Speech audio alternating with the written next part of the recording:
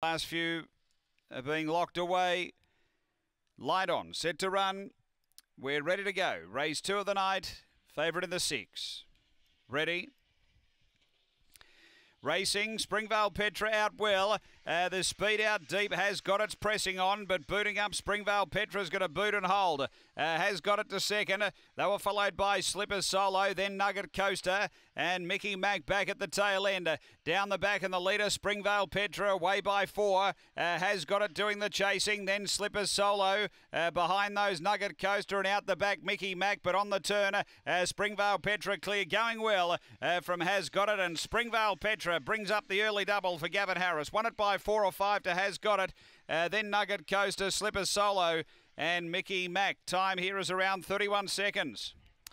After the running of race number two, and uh, too good here all the way. Number six gets it done.